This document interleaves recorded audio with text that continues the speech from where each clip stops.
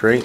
So uh, welcome, everybody. We, we, we went over a little bit because folks were still coming in, and, and, and we just wanted to make sure that you all were here so we could uh, get started with, with our great guest and, and also with the launching of, of this paper that I'm so proud uh, to do today. Uh, welcome, everybody. My name is Carl Meacham. I am the director here of the Americas program at CSIS. And uh, today we're here to launch uh, the Americas program's latest report entitled The Dominican Republic, Becoming a One-Party State. Uh, the report is the culmination of a six-month project on corruption and the state of democracy in the Dominican Republic.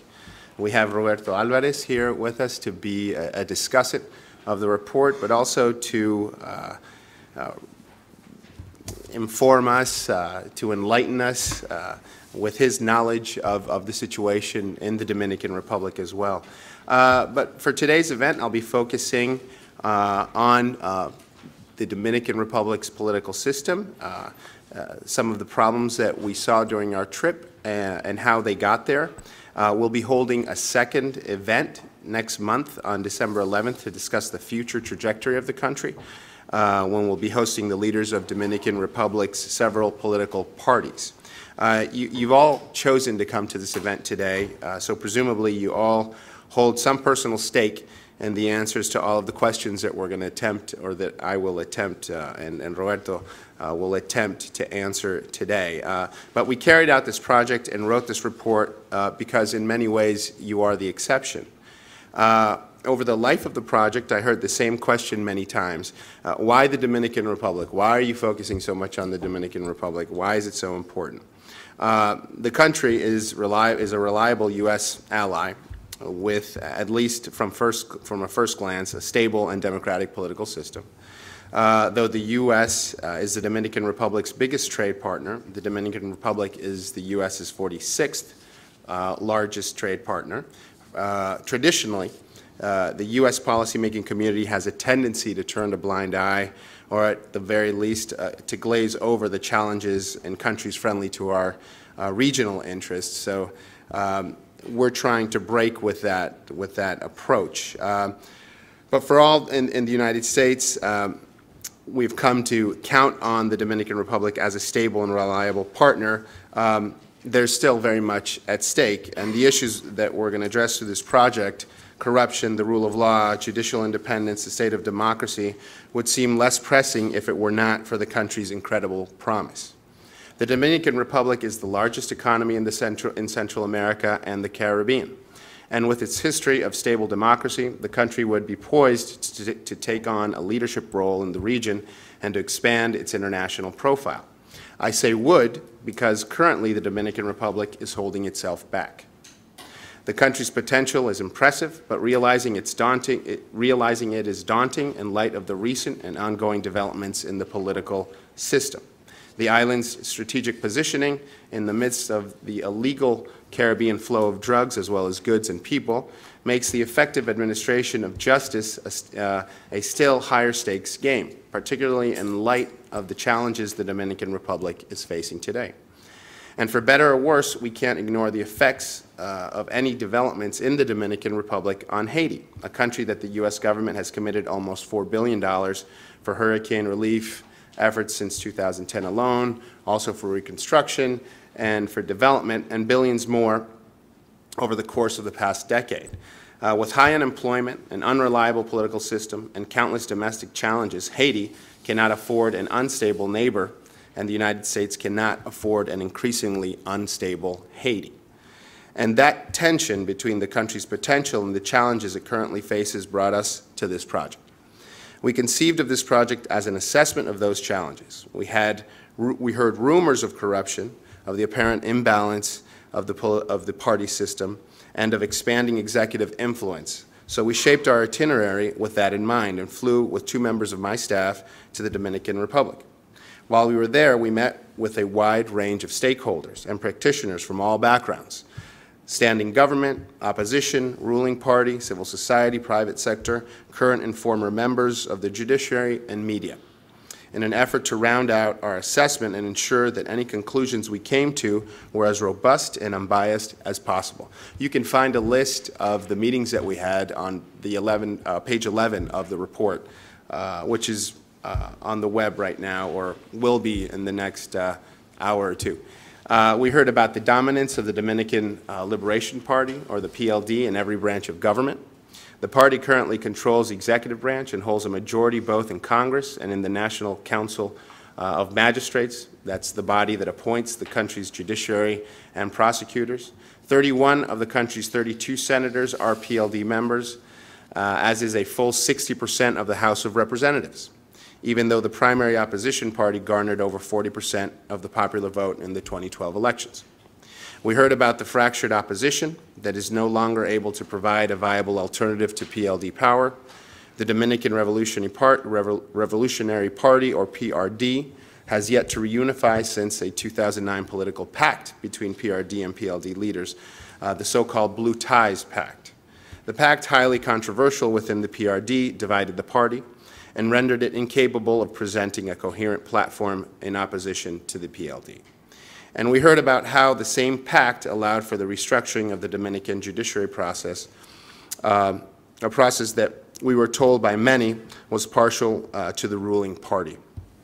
As I understand it, this process included giving members of the judiciary significant weight in resolving both inter and intra-party disputes. And given the widespread perception that the PLD carries perhaps undue influence in the judicial system, this raises questions about the capacity of the judiciary to fairly arbitrate disputes within the party system. The division of the PRD has, according to many of those we spoke with, been furthered by discretionary judicial decisions. While I'm not in a position to advocate for any particular law, many in the opposition are currently pushing for the development of a law of partido, law of parties, ley de partidos, a law that would protect the multi-party system so central to Dominican democracy. Such a law would ideally ensure that the regulations that govern the Dominican party system would be equally and fairly applied to the country's several parties, irrespective of their current power in the political system. We heard about the population's quickly eroding faith in the judiciary. As allegations of executive influence in the judicial system grow ever more numerous and better documented. The judiciary is seen as heavily influenced by the PLD, driving the development of a culture of impunity as more and more citizens turn to extrajudicial, extrajudicial means to resolve disputes and manage conflicts. We heard reports of widespread bribery, corruption, and money laundering, both plaguing the public perceptions of government and crippling the Dominican private sector. According to members of the anti-PLD movement, who have compiled vast tracts of evidence to this effect, one former president and his, and his allies have used the Global Foundation for Democracy and Development, FUNGLODE, to, uh, to launder enormous sums of cash in exchange for higher stakes government contracts. Private sector leaders cite these contracts and the bribes they claim the contracts entail as a source of primary frustration, and more importantly, of economic inefficiency to the sole benefit of the ruling party. We heard about the distortionary effects of corruption and clientelism on the Dominican uh, economy. The informal sector reportedly constitutes nearly half of the country's economy, with the state's corruption providing little incentive for formal sector operations. Employment in the formal private uh, sector grew by just 5% over the last decade, while employment in the public sector increased by a staggering 37%, apparently speaking both to the effects of PLD policies on the economy and to the ballooning of the federal government. And we heard about all of the dangers these developments pose for the country's political stability and democratic foundations, not to mention the implications any changes in that stability would have within Dominican borders and throughout the region. The fragility inherent in the Dominican Republic's geographic position and the Caribbean directly en route from the northern coast of South America, Venezuela, and Colombia, uh, and to southern states puts it at a distinct disadvantage. Drug cartels operating in the region increasingly use the country's ill-policed coast as a point of transit. A full 14% of U.S.-bound cocaine shipments were trafficked through the Caribbean in the first half of this year alone, largely by means of the Dominican Republic and Puerto Rico. and Dominicans make up the fourth largest Latino group in the United States, with upwards of 1.5 million uh, Dominicans currently living in U.S. borders. If the situation on the island continues to worsen, the implications for immigration flows northward and thus for the United States could be huge. So we came back, we wrote this report about everything we heard.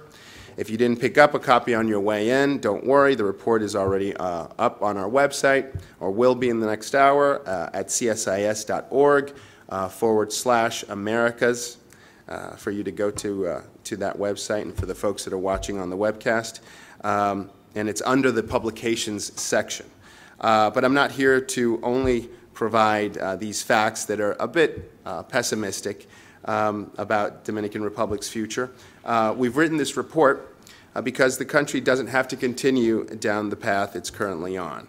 Uh, I'm not Dominican, but I, we recognize very clearly the potential that the island has. and the people of the island being, I guess, the core of that potential. Um, so to put it simply, it's not too late. Uh, the country would benefit from a set of, con, uh, of conversations and uh, reevaluations of its current system and on three issues in particular. The first is the state of the Dom Dominican judiciary and the particular challenges it faces in the realm of independence and party influence. The second, the development of a law protecting the country's political parties, or a ley de partidos, uh, and its potential implications for a healthy multi-party democracy. And third, the future of the PRD and how it will move forward uh, given its current disunity and inability to present a viable opposition to the PLD. I won't go into uh, more depth for now because I want to open the floor uh, to our guest today, my friend Roberto Alvarez. Uh, Roberto is currently the general coordinator for Grupo Participación Ciudadana, Transparency International's branch in the Dominican Republic. Previously, he served as the ambassador of the Dominican Republic to the uh, OAS. I won't say more for now because you have his bio and you, you know how impressive Roberto is, but suffice it to say as well that uh, he's an expert on, on the issues uh, that I was mentioning before and that he will elaborate uh, on, and I couldn't have been happier um, uh, to have him here today and that he accepted our invitation. I should note, though, that he is speaking here as an independent citizen not the representative of any government or organization. Uh, the usual procedures uh, apply for today's event. We are on the record and recording audio to place on our website. Uh, we are also webcasting, as I mentioned, and live tweeting today's event for the benefit of our international followers. For the Q&A, I would ask that you just wait for one of our staff to come along with a microphone. They'll get to you. Please, uh, uh, please elaborate on who you are, uh, what organization you work uh, for. I know that everybody is going to have statements that they're going to want to make, and we, we welcome those things. But please keep it brief so we can get to everybody. And without further ado, Roberto, the floor is yours. Thank you.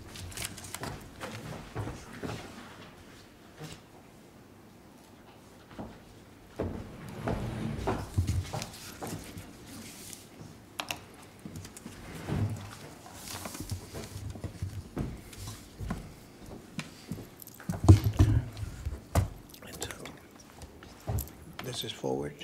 Both of them? This is forward and that's backward. Thank you. Of course.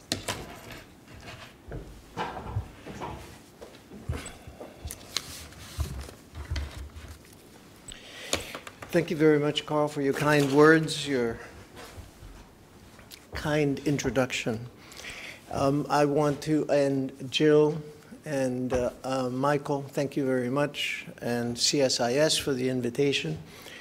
Um, I want to underline what uh, Carl said before, that I'm here speaking on a personal capacity, that I do not represent any of the groups. I'm not here speaking on behalf of Participación Ciudadana um, or anyone else.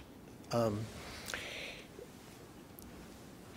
there are a lot of sort of friendly faces in the audience, and I thank you all for coming uh, this morning. Um, feel like I'm almost preaching to the choir in a way. Um, but I also want to thank uh, CSIS for doing this report. Um, it is not a, um, an everyday event. Um, it hasn't been in a while, actually, that a, um, a think tank in Washington has focused on the Dominican Republic. Actually, most U.S. citizens focus on the DR when Big Papi goes to bat. Um, and um, and, and uh, for those Boston fans, uh, congratulations. Um, but I want to um, um, underline um, first, there is a, the report has a suggestive or uh, leading almost uh, title, uh, the Dominican Republic becoming a one-party state. Um, my answer uh, right up front is not yet. However, there are troubling signs, and I will develop my answer and address at the end, hopefully, how we can uh, break through this uh, moment. Um, let me underline something that I find striking in terms of the relationship between the Dominican Republic and the United States. In the report, you will see uh, some data as to the Dominican population in the United States, which is roughly a million and a half. Um, not many of them are undocumented illegal, and I'm not going to go into that uh, at the moment, but here is part of the answer.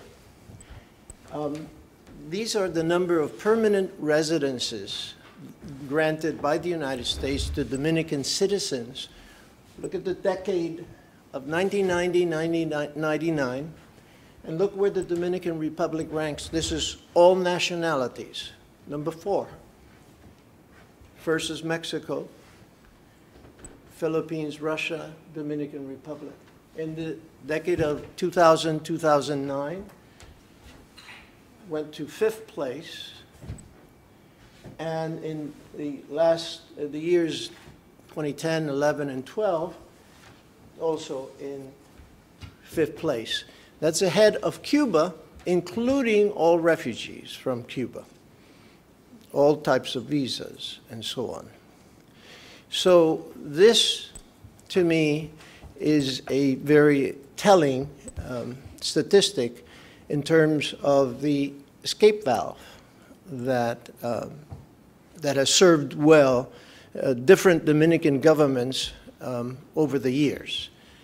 Um, and as a matter of fact, it, it to some degree also explains um, the relationship, the economic relationship with Haiti in terms of the lower um, wage, scale wage um, Haitians that are coming into the Dominican Republic and Dominicans that are leaving.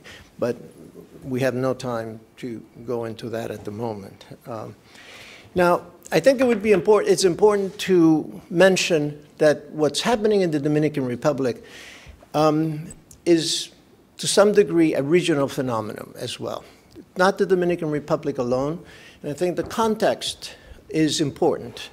If you look, for example, talking about reelection, in the 20, the 2009-2012 electoral, presidential electoral cycle in Latin America, um, out of the 18 elections that took place, uh, 10 were re-elections, or the official party continued in power, more than half. Uh, of those 10, five were continuous re-elections.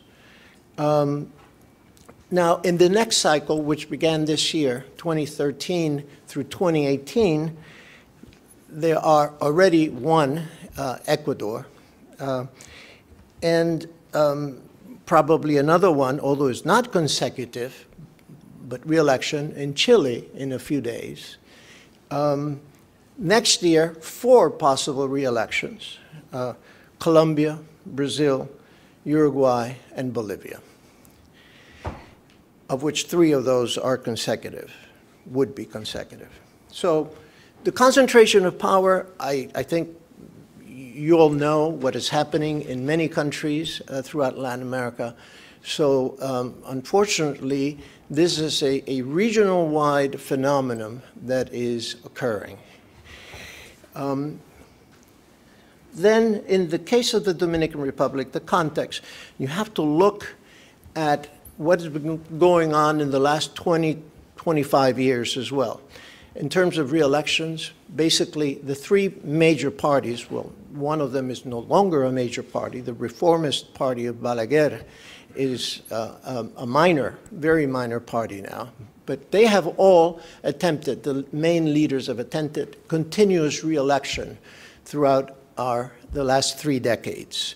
So it isn't a single party that is responsible um, for the current uh, tendencies, although there are certain specific uh, um, uh, qualities to the current tendency that I will explain. Um, so um, Balaguer was in power for 22 years. The PRD have, uh, most of them have attempted, uh, of the presidents, uh, the PRD party have attempted re-election at one point or another. Hipólito Mejia changed the constitution in 2002 um, to allow his own attempt at re-election, which he lost in 2004. So uh, there is a context to what is happening at the moment. Um, one of the concerns, for example, my mind, for example, is President Fernandez's statement, recent statement, that the PLD is a factory or a machine for the fabrication of presidents. And that it is going to, his words, gravitate over uh, the Dominican, Dominican politics uh, until, first he said, until 2036. Then a little bit later, he amended and said until 2044, because that would be the bicentennial, Dominican bicentennial. Um, given the current situation in the Dominican Republic, the fact that he's been president three times, that he's already gearing up for a fourth um, um, um, attempt in 2016, this, uh, and given the current state of the opposition, it, it creates a, a tremendous unease in those that consider that the alternation in power, the change of parties, is absolutely necessary for a democratic process. Um, now, let me show you something about corruptions in the Dominican Republic and the importance of corruption in politics and in drug trafficking and, and throughout the entire Dominican uh, society. First, you have what uh, Transparency International um, the last Corruption Perceptions Index has ranked the Dominican Republic 118 of 176 countries. World Economic Forum ranked the Dominican Republic 105 out of 148. This is the latest with a score of 3.76 out of 7. Only Honduras, Paraguay, Venezuela, and Haiti ranked lower than the DR. The most prob problematic factor for doing business in DR cited is corruption.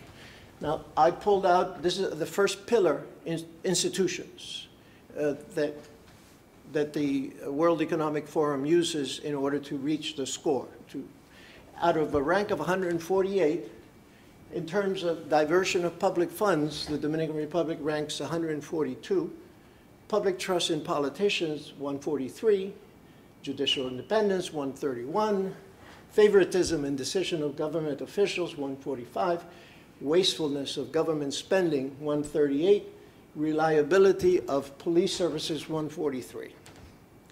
Now, I need to state at this point in time that it doesn't make me happy to be sort of showing this scores here. Okay? It is, as a Dominican, I feel tremendously ashamed. And if I do so, is with the hope that by denouncing this situation, a change will eventually come about.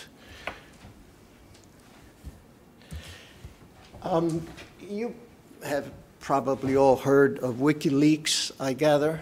Um, these are just two samples of numerous samples of cables out of the U.S. Embassy One, 2008, regarding Forbes Energy, proposed investment in sugarcane.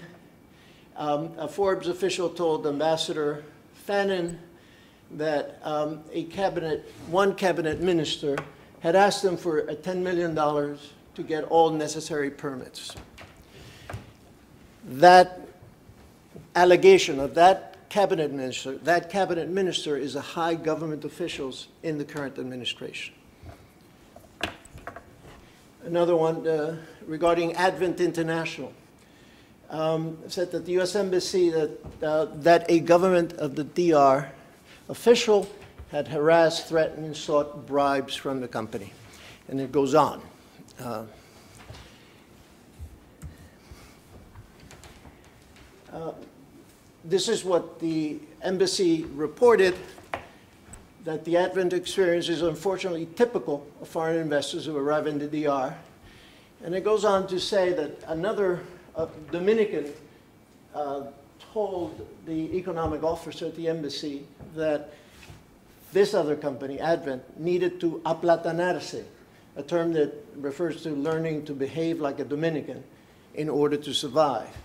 Then the embassy says, yet if Dominican government officials wish to attract and retain foreign investors, they cannot require these investors to participate in the rampant corruption of negocios aplatanados, Dominican business style. It is the local business climate that needs to reform, not the foreign investors. Um, And this is the latest 2012 investment climate statement in the Dominican Republic. State Department, uh, you can basically uh, find it yourself. It, it is the same gist of what I was uh, saying before. Um, Now,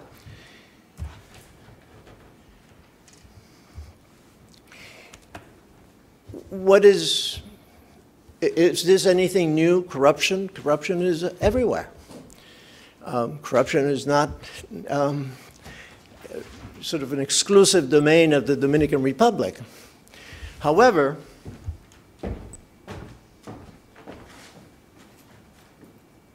sorry, I forgot to. What is unique in the DR, almost unique, is the level of impunity. The institution that I head now published this report in 2004. It's 20 years of impunity. Looked at 155 cases before that were before the courts for corruption. Of the 155 cases, only six reached a final decision. Five were acquitted, and one was sentenced for a misdemeanor. That um, official, PRD official, by the way, um, was eventually pardoned. So this was 2004, almost 10 years ago. We're about to to issue a report, a new report of corruption uh, without punishment uh, in the next month or two. It looks at um, all corruption um, denunciations in the press, in Dominican press, from 2000 through 2012. 76 cases, more or less. Of those 76 cases, very few individuals have gone to court, have been tried, have been sentenced, and those few that have are all lower level officials. There is no high level official in the Dominican Republic that is serving a sentence for corruption. None. Now, right now, for example, one of the things that um, is noted by a lot of people is how President Medina uh, looked to Brazil uh, during his campaign and um, uh, said that Brazil was a model to follow. As you all know, in uh, President Dilma's first two years uh, in office, she fired seven cabinet ministers for rumors of corruption that where they could not prove uh, how they achieved their, their assets. There's no one, no official, in spite of um, the many allegations that has yet been fired or that is in being investigated before a court.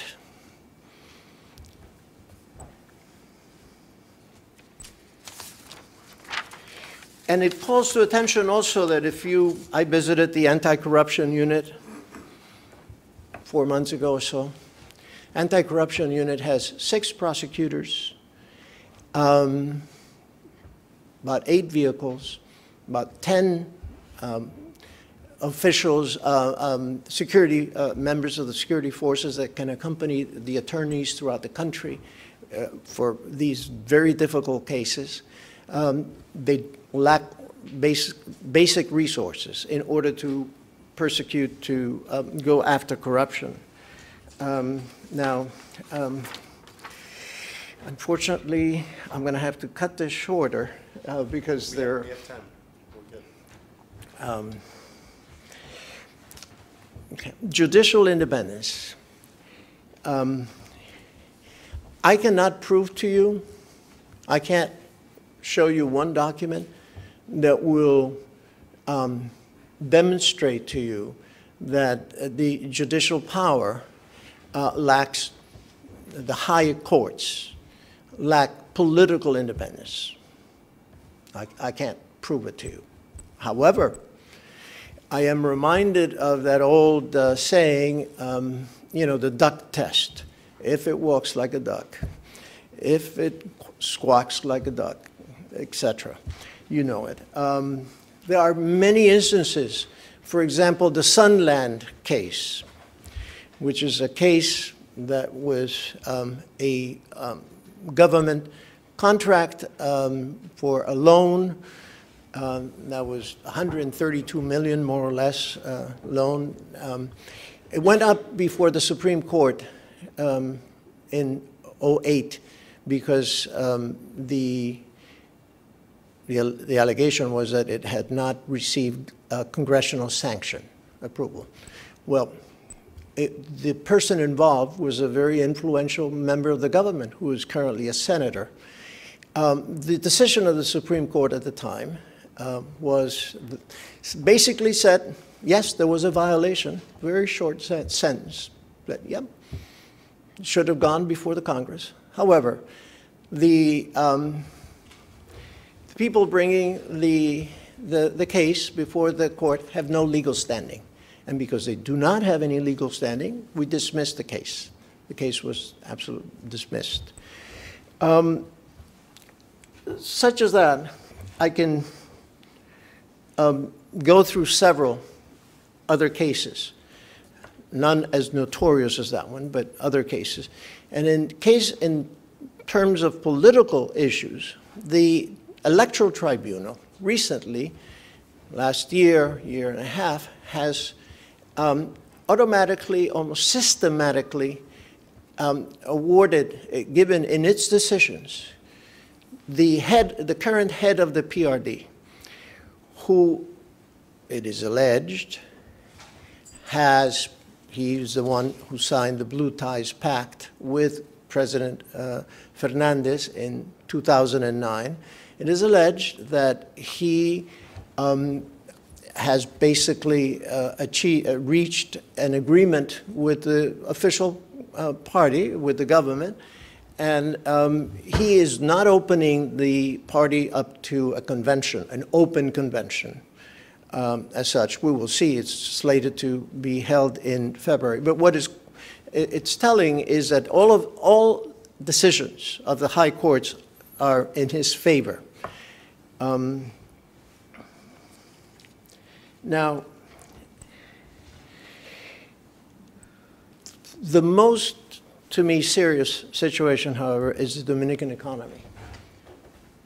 Um, I'm not going to have time now to go through this. Um, the, what the average taxes, whether it's individual or corporate taxes or value-added taxes, the level of inefficiency or evasion um, or exemptions are such that the Dominican government, the, the fiscal pressure is much lower than it should be, than the average in, in throughout Latin America. Um, As you can see, sh- they should, Dominican government should be collecting seven and a half percent of GDP between income taxes and VAT. It- it- I'm sorry, it's, is collecting seven and a half when it should uh, be collecting eleven percent. Um, 272,000 jobs were created between 2000 and 2012. Of these, the state was responsible for almost 60, for 65% of them. The Dominican economy, economy is not creating the jobs that is required um, in order uh, for growth, real growth to, uh, to take place. Um,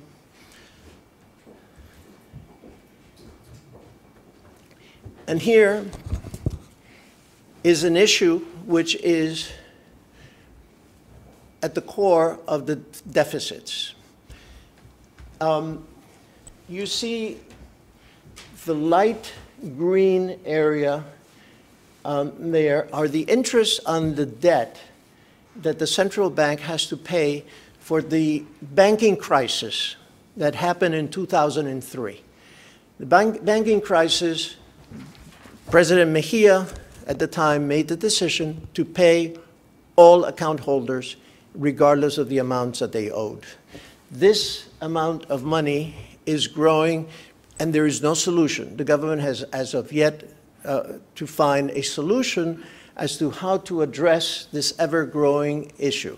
Now, what does this mean? What this means is that public debt is, between public debt and subsidies for electricity and other issues, more than half of the budget is going into those two sectors, and only, as you can see, 191 million pesos into um, public services.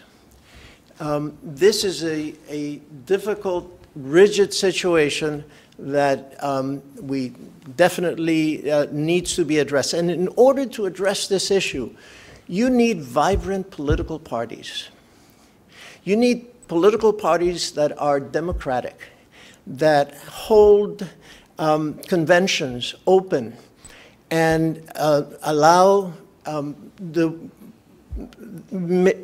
the winners to be based on merit, uh, to rise up through the ranks, and that is what is not happening now. Even within the PLD, the PLD, the 27 members of the political committee have been in office, have been leading the PLD since 2006 now, and they themselves, um, well, they were uh, uh, uh, re-elected by the Central Committee, but they, uh, at their behest, until 2016, 27 individuals. Now, what they're talking about is increasing the membership by six.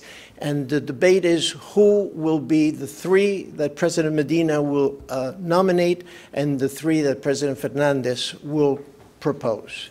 And I'm going to um, close at the moment uh, by saying, uh, look, President Medina has the highest standing at the moment uh, of any president in Dominican history. I think it's 88% according to Mitofsky uh, political consultants. Um, you know, you can't argue with um, that level of popularity. Um, and, um, um, but the PLD is an essential party to Dominican democracy, as well as the PRD, both of them. Both of them need to open up, both need to democratize, and the law that, um, that Carl mentioned, the law on political parties is fundamental. Without that law, there is no accountability whatsoever for the political parties. On financing, um, the monies they receive, the uses of those monies, whether it be state money or private money. Uh, so that is a, an essential law.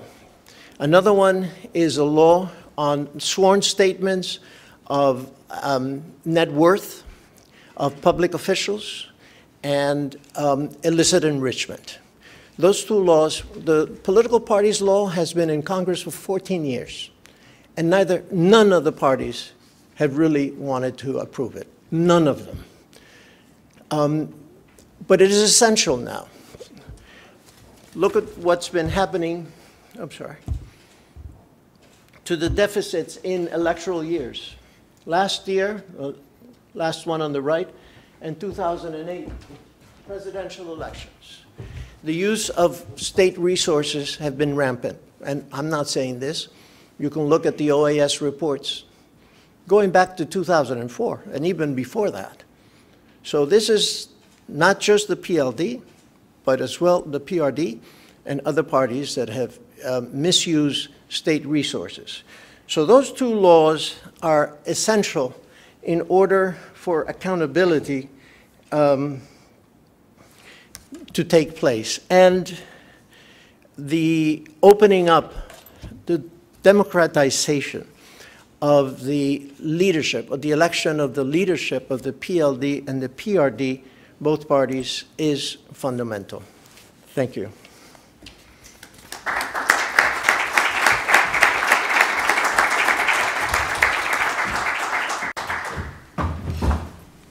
That's excellent. Um, Usually at this part of the, of, of, of, of um, our events, I would ask a whole bunch of questions. Um, But we've gone over a little bit, and what I wanted to do is sort of skip that, that portion and, and just open it up for questions from, uh, from, from- for the, from the audience, uh, and sort of start a conversation, which I think uh, you would appreciate. So uh, I open it up to you now in the audience. Um, The microphone's up here in the front, yeah? Thank you. Good morning. And thank you for the opportunity. I mean, To just wait a second. Why don't we try that microphone and see? Maybe it's a volume issue or,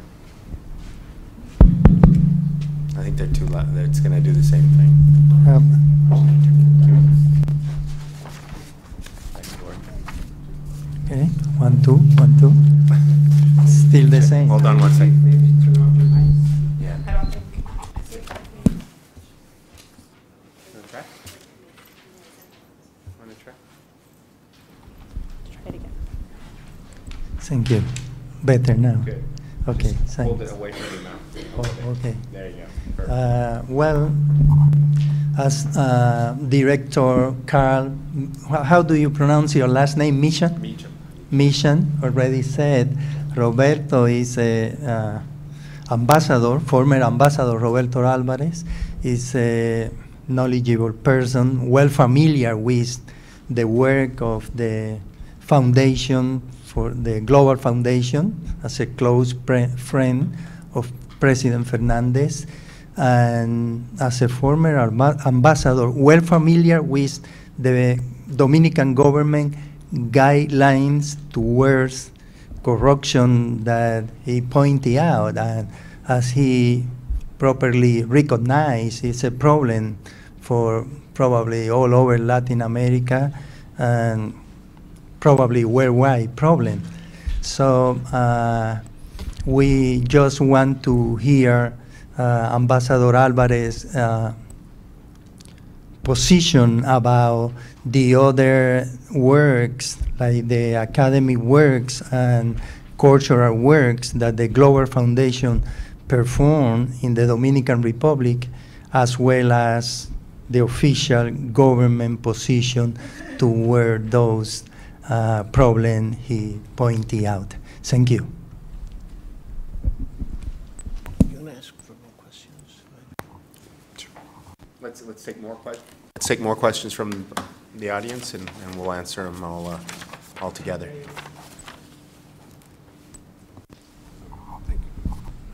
Thank you very much. Uh, my name is Flavio Medina. I'm for the PLD, represented here in the tri-state area, and I'm here with the president of the party, which is Francisco Cruz, sitting right there to my left. Uh, we just want to make some statements uh, because uh, we are not agree with the notion of one state, uh, one party state that is uh, presented today in this presentation. Um, we have many reasons why we disagree with this. And one of them is uh, uh, the first government of the PLD was in 96 2000. Um, President Fernandez, uh, after 2000, he didn't promote any constitutional changes to stay in power. However, uh, when the uh, PRD won the presidency in 2000, they were the one who promoted changes, constitutional changes, for the only reason to stay in power. So when we won again the election in 2004, uh, President Fernandez had the option to be reelected because the PRD was the one who promoted that change. Um, so we did. And also because we fulfill good governance, something that the PRD never done in the Dominican Republic for the 14 years that it has been in power, the office. And yes, they promote a lot of corruption. This is something that we should be debating in a different forum because we are talking about a lot of things. We're throwing everything in one basket. And we're talking about political reform. We're talking about uh, uh, uh, economic issues. Um, we're talking about corruption. I think we should be debating this separately. Uh, I want to thank uh, uh, Roberto Alvarez, who I know for many years already.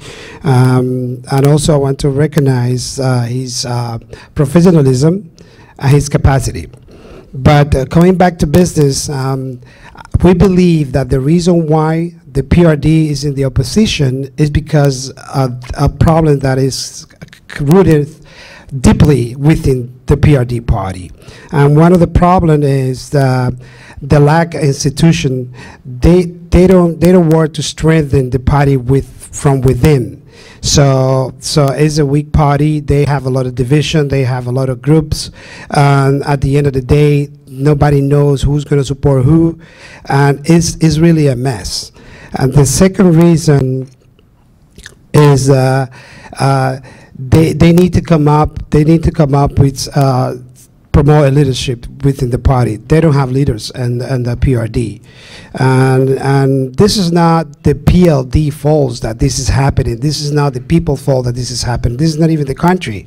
Okay, we can promote a, a, a party law that it was promoted in 2000 during, uh, during the uh, Mejia government, and they didn't pass it to the Congress because they didn't want to do that. So now they want to force the PLD to do it. Once once we are, well, all we have done is trying to to to pass the law and to promote changes that benefits the majority of the people. So. Uh, I want to cut it right there, but uh, I just want to say that um, um, it is uh, amazed me in a way because um, uh, Roberto Alvarez was uh, ambassador to the OAS during the government of PLD. Um, um, talking about corruptions, uh, I think we all have to share to share uh, a piece to share in, in, that sense. And this is something that has been going on for many years. he showed a book and I would like to know uh, when that book was published because it go back 20 years. And if it was published in 2004, that means uh, the big piece of the share is not even part of the PLD government uh, when we were in office. And uh, also, uh, uh, President Fernandez we want to claim ultimately that this is part of the campaign from the PRD internationally to damage the reputation of President Fernandez and to damage the reputation of the PLD because President Fernandez uh, most likely is going to be elected again president in 2016. And they're starting with this campaign since the Dominican Republic. So uh, we want to claim that publicly, uh, and I hope you can take that to the bank. Thank, thank you very much for your opinion. Uh, do you want to respond to that or more questions? Um, sir, in the middle here. Sergei Kostev, uh, Russia, Moscow scholar. Uh, we also have huge problem with corruption in Russia, and uh, we share this uh, uh, disease, let's say. I have a very simple question. A couple of, maybe several years ago, uh, there was a free trade, trade agreement between Dominican Republic and the United States. Did uh, that uh, free trade agreement had any positive effect on economic and political development in the Dominican Republic? Thanks.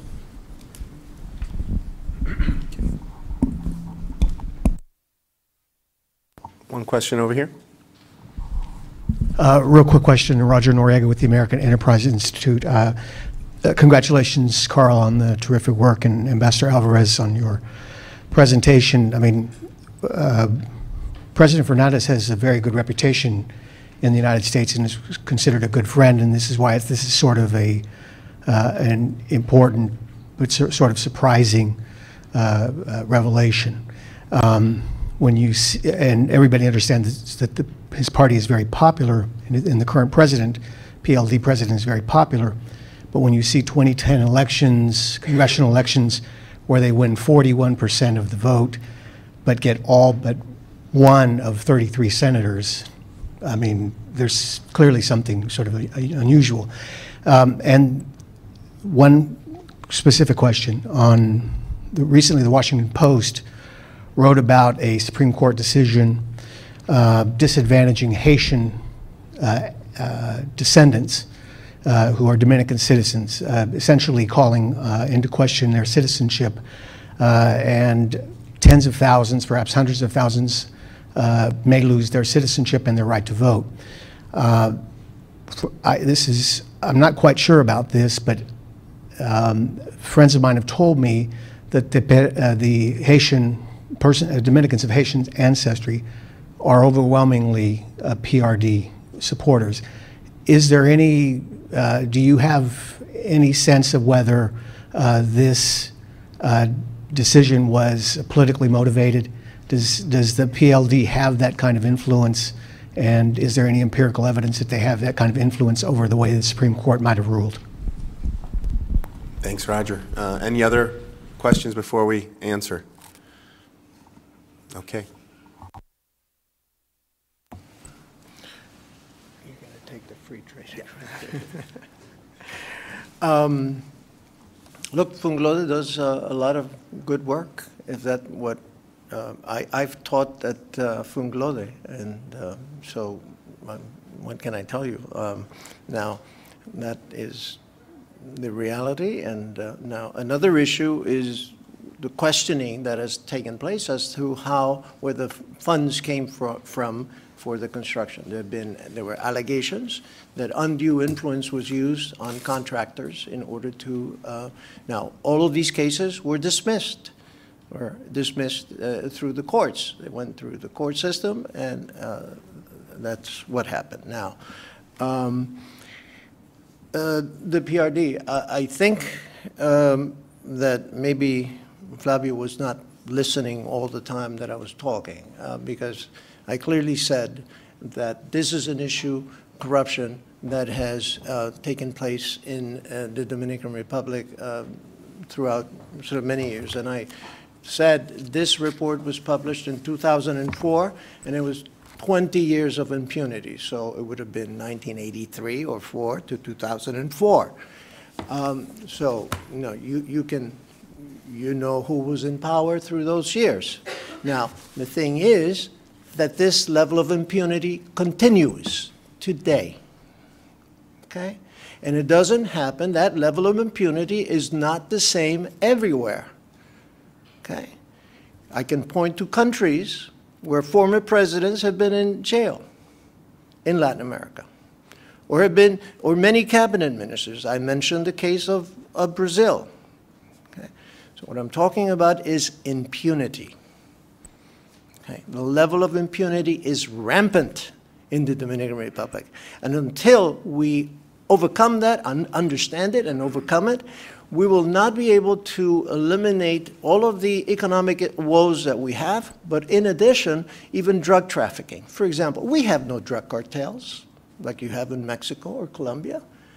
It's not that way that it happens in the Dominican Republic. It happens, you cannot move a leaf in the Dominican Republic without the security forces, the armed forces knowing about it. So, um, until we address corruption and people start going to jail for corruption, there is recently, uh, the, the other day, you may have seen in the Wall Street Journal, an allegation that, um, that in the sale of the, of some airplanes, that uh, a Dominican colonel was paid off. Um, Well, I hope that it, you know, I hope that it's investigated, and this is a serious allegation. I hope, you know, we'll see.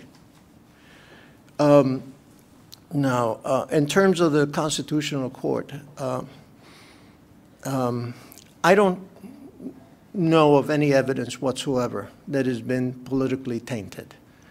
Um, None whatsoever. There have been allegations to that respect, but I know of no um, credible evidence to that respect.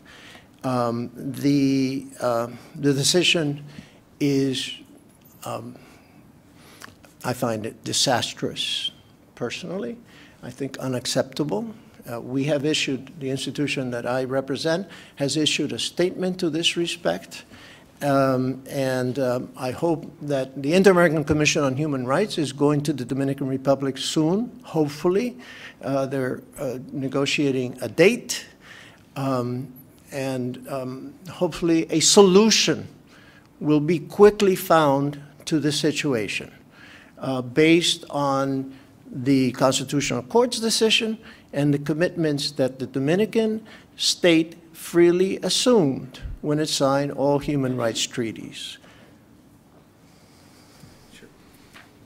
Sure, and, uh, you know, I would just elaborate, um, just with, just with facts. Uh, The perception is, is clear that, you know, there is a dominance of the PLD in every branch of government. I mean, just the number, numbers-wise. So you have 31 of the country's 32 senators are PLD members. Uh, You have the National Council of Ma- Magistrates, the body that appoints the country's judiciary and prosecution, pro- prosecutors, being mostly of the ruling party. Then you have the majority the- of the Congress being of the ruling, ruling party. And then you have the vice president of the country being the wife of the, of the former president. I mean, these are just facts. I mean, it's just, I mean, it's factual. I mean, I'm not arguing the why, the how, but that's just the fact. Uh, On the issues that have to do with the FTA, I would say that the more that there is an environment where you question the regulatory strength, that it's, it bodes poorly for people wanting to invest in Dominican Republic. And we do have a free trade agreement, which is a very positive thing. It was done when, when you were uh, Assistant Secretary uh, Roger. And uh, it's a positive thing, you know, I mean, this is something that Americans all over um, the political spectrum, um, they, they like it, they promote it. It's, it's good for us, it's good for Dominican Republic. But if you can't really rely on how uh, you do business in the DR, uh, it becomes less and less attractive of a place to go uh, for, uh, for commercial interests.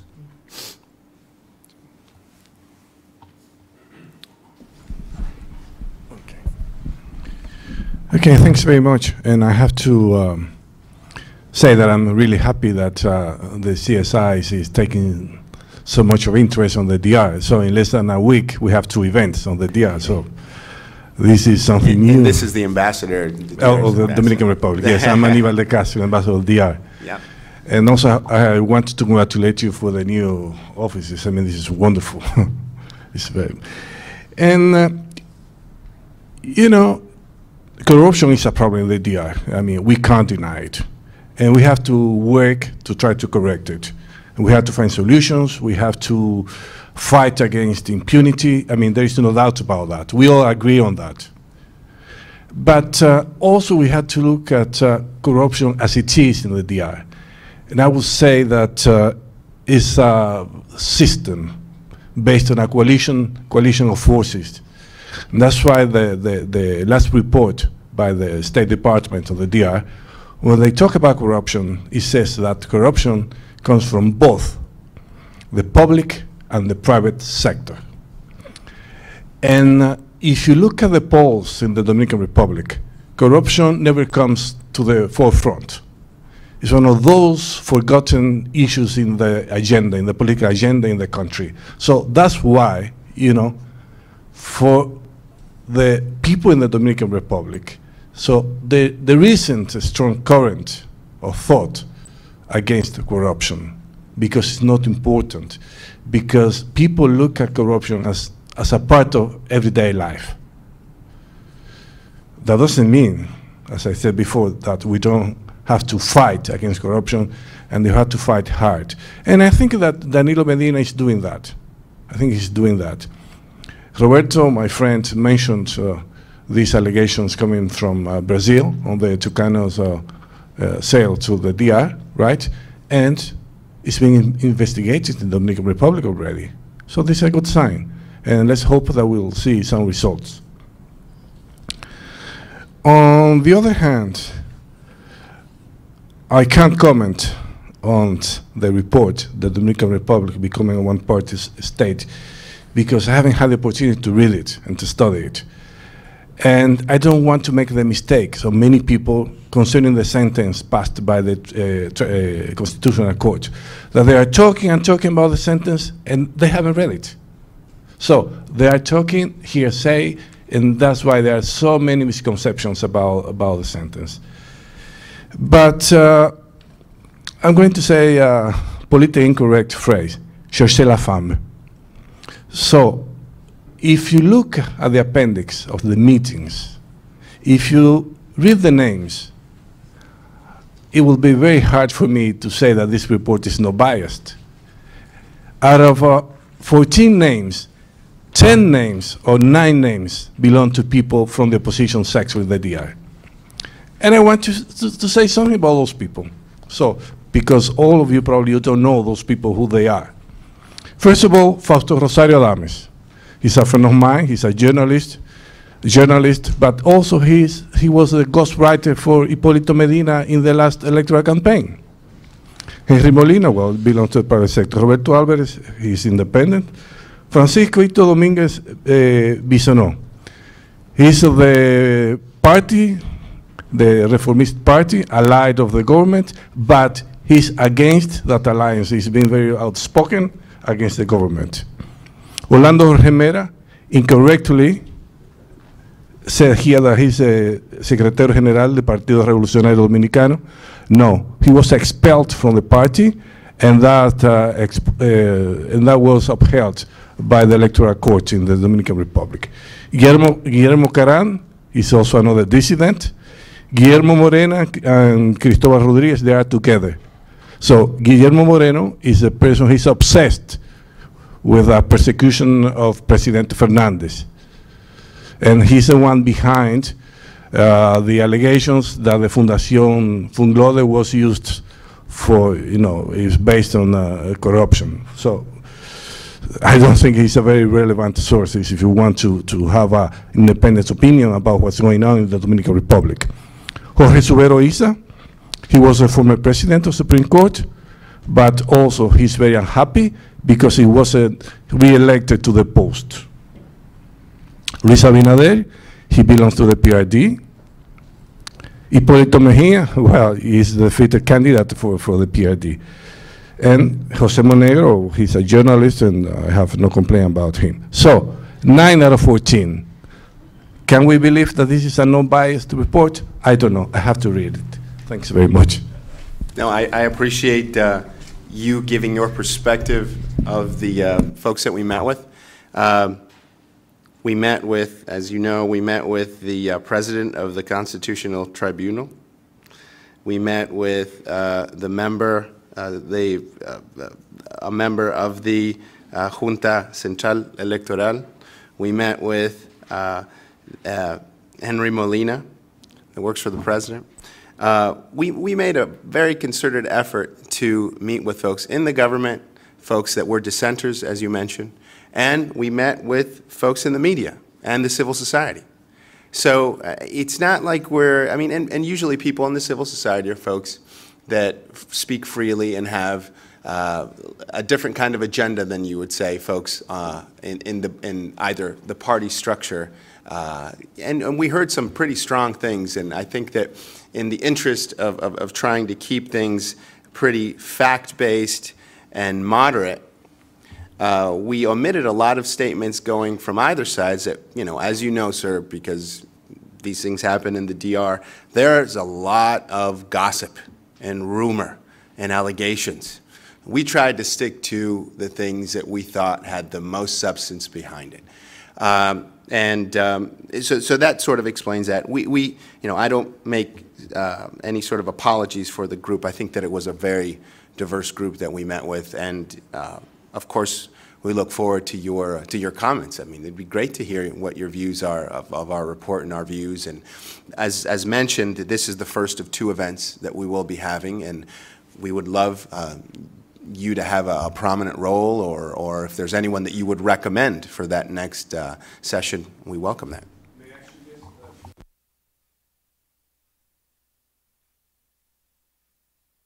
sentence?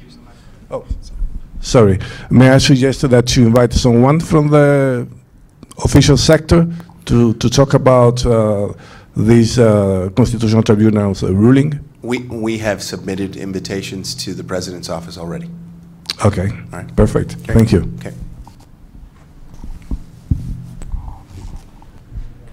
We're, we are going to take, uh, hold on, hold on one second. How many people want to ask questions so we can sort of, all right, so we are going to go with these last four? No, just, just a quick. uh, And then, then, and then we're going to have to shut it off, because we have Yeah. gone over, and uh, I think this has been an an excellent session, and I wouldn't want to uh, stop anyone from giving their opinions, but I only see four hands, and I'm going to take four hands, and that's it. Oh, Okay, thank you, Carl. Hector Schamis, uh, Georgetown.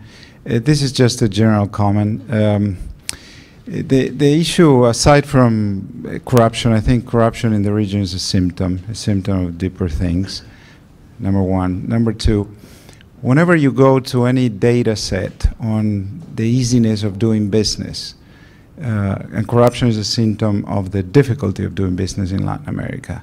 Uh, regulations, permits, all, all the, the things you, you mentioned there. And, and, and the Dominican Republic is pretty much in the same neighborhood with uh, many, many countries in the region.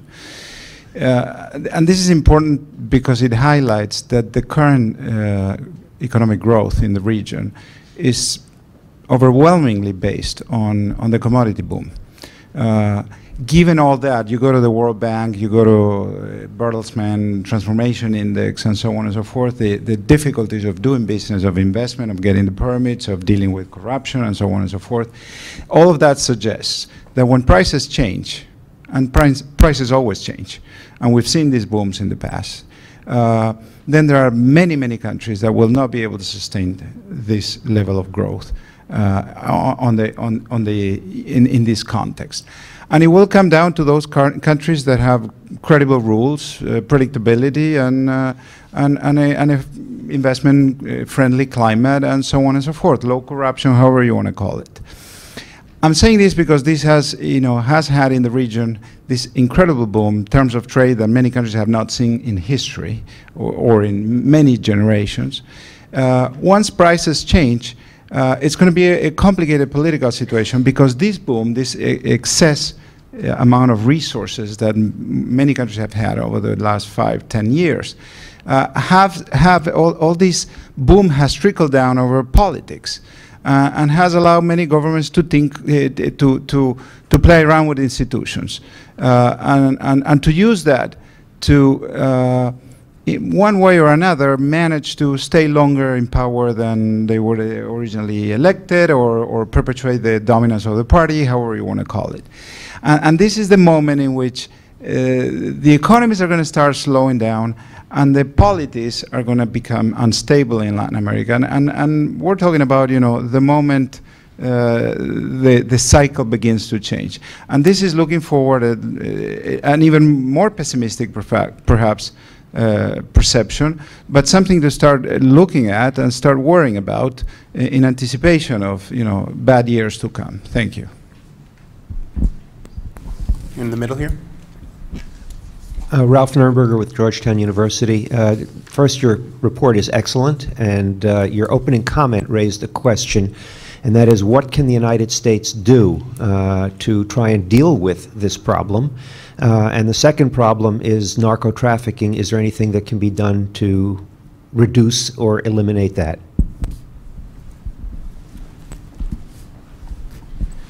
My name is uh, Jonathan Russin. My law firm, Russin, Vecchi, Heredia Bonetti, has an office in the Dominican Republic, and we face these questions of corruption on a daily basis. Um, Ambassador Alvarez, you have been studying um, uh, corruption outside the Dominican Republic in a number of other contexts. I think uh, here in the United States, as I look around, and I look at the difference between what our administrations have done with the first Savings and Loan Association scandal in the United States and what the current administration is doing uh, with the mortgage scandal of um, uh, 2008, um, my question is, is it really a top-down solution? Does not the executive himself have to demonstrate a resolution not to tolerate um, uh, corruption in order to be able to weed out the system. You looked at the example in Brazil. There, it's the president uh, who has made the effort. As you look at the Dominican Republic, is the only way that you can really get to corruption by having the top person in the government make it no longer tolerable.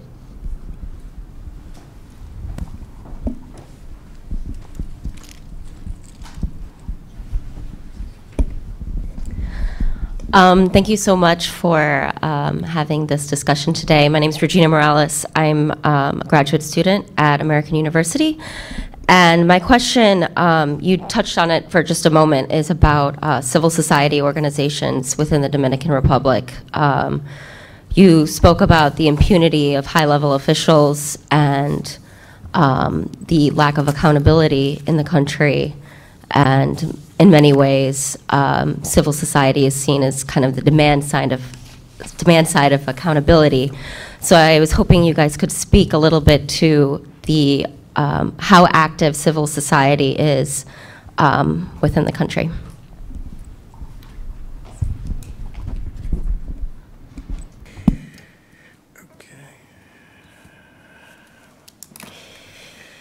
Um, the Dominican Republic is not one of those countries that has benefited from the commodity boom. Um, that is not where we, um, our, our, major exports are not any of the ones that South American countries. Actually, there this is one of the uh, ways that the two Americas are sort of have been differentiated.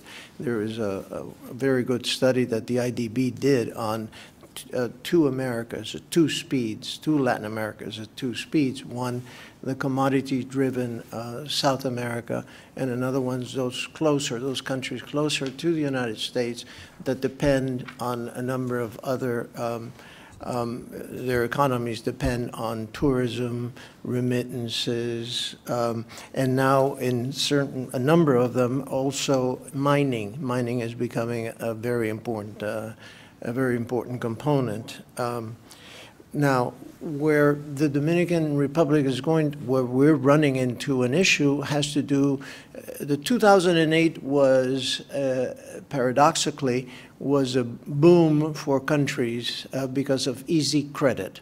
Quantitative easing in the United States opened up a flow of cash, um, a, a, lot of money flowed, but also the private sector loans were easy to get this is changing, as we all know. Interest rates are going up, starting to go up in the developed world, and um, the sources of funding is going to dry up. For a country such as the Dominican Republic that has been depending on deficit financing, it is going to, the crunch is coming, inevitably. Um, right now, President Medina has um, um, their, his target for this year, de deficit target, is 3% um, um, of GDP. Uh, last year, it was, we don't know. Some, uh, the IMF at one point said it was 8%, up to 8%. Um, but the thing is, we have not been told yet exactly what the deficit for 2012 was. We don't know. Um, but anyway, uh, th this is a, a difficulty in, in, how to um, sort of transit this particular cycle that we're going to go through. Um, the, I'll leave the U.S. and narco up to you. Uh, the, um, I think, Jonathan, you're absolutely right. Um, until the president, you know, steps down on corruption and sends strong, the strongest signal we're not, and that signal needs to be accompanied with the resources for prosecutors to be able to go after corruption. Until you have both, um, business as usual is going to continue, unfortunately. Um, I just don't see in a country where presidential power is so large, so vast, so important, uh, the message from the president has to be unequivocal, unequivocal. Um, and civil society. You know, I, I've we, the institution that I, I, I preside now, um, decided many years ago that it would be just for one year. That and we shun the term president or secretary general. That's why we call ourselves coordinators, general coordinators.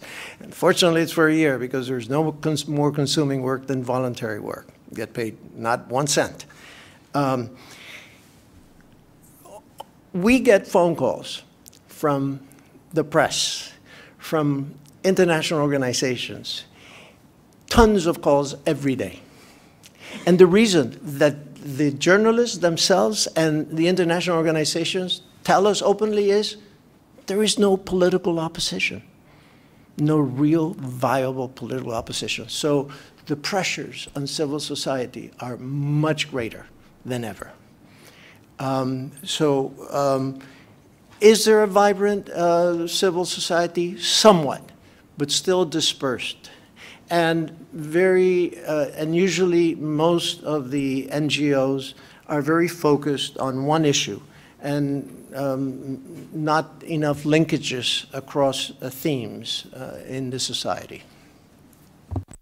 Uh, Regarding your questions, I I would say uh, what what the U.S. can do uh, to deal with, uh, I guess, the drug trafficking and the other issues, uh, the corruption, which is what came out. I'd say on the drug trafficking, um, the focus on the country's ill-policed coast as a drug transit area is a big issue. So maybe working together to beef up their maritime borders would be uh, an area uh, that we should be focusing on. Uh, As far as other issues dealing with corruption, I think uh, these are Dominican problems, and they demand Dominican solutions. The people of Dominican Republic should be at the forefront of all this, but I think the United States can play a role uh, as a partner, especially in the uh, working and workings that have to do with the, uh, the political party law and any issues related to that in order to sort of create a, uh, a fair, uh, sort of even playing ground for all of these parties. Uh, I think that a lot of the issues that have been raised today uh, are positive. I think this conversation should be happening in the DR. Uh, and I think that as, as, as much as we can serve as a framework or as a stage to have that happen and build awareness, I think we're doing our part, and I think that's really positive. Uh, but at the end of the day, it's Dominicans that need to be leading these conversations. It's Dominicans that need to be coming up with these solutions, coming um, uh, to conclusion on some of these difficult issues. Uh, it's not going to be easy, especially given that this has been going on for such a long time, and there's so many entrenched interests. Uh, so I would just uh, highlight that. I want to remind everybody once again that the report is on our website. It's at csis.org forward slash Americas, and it's under the publication section. I want to thank Roberto for your time, for going over uh, the time that we agreed on, and I want to thank all of you for coming uh, to this launching. We appreciate it, and thank you very much. Thank you.